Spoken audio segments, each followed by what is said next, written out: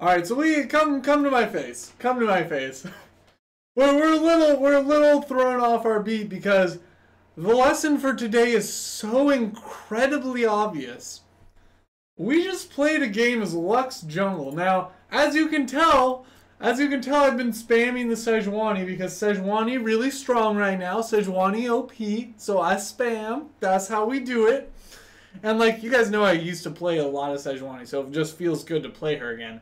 But one of the things we do to make sure that we secure it, because it's a nice contested pick if it's not banned, is we offer to trade people. Well, as you can tell from the Sejuani mid we had this game, this is a Sejuani mid with Thunderlords, and I was a Lux jungle with Courage of the Colossus. Now you can tell that was not intended in Champ Select. You can tell somebody, wasn't me, forgot to hit accept on the trade. Now, now it's very easy to have something like that happen and be like, come to my face. Be like, we're gonna go ahead and just we're just gonna AFK and we're gonna we're gonna see you guys tomorrow. Now it's easy to do that. It's tempting to do that. But we did not do that.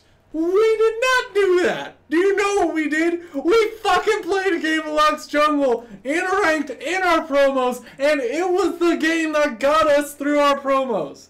That's what we did.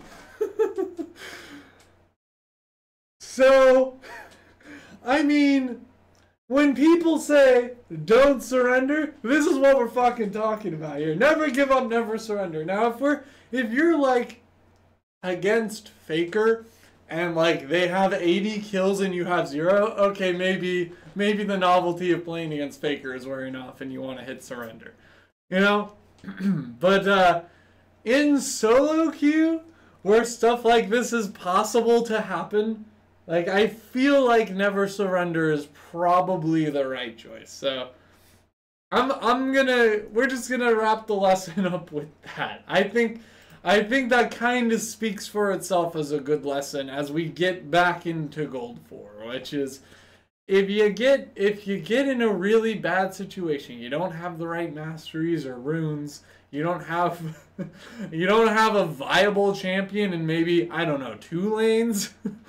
it maybe both two of your teammates didn't take the right runes and summoners and the right masteries. Maybe that happens. Don't give up. Play that goddamn game out. It's a ranked game. Play to win. Try to win. Maybe you can develop some sort of lead and just somehow make it work. And you know, when you do, let me tell you, boy, does it feel good.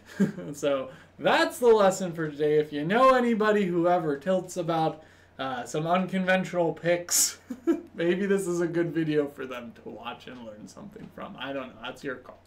Thank you for watching. Uh, I'll see you guys next lesson.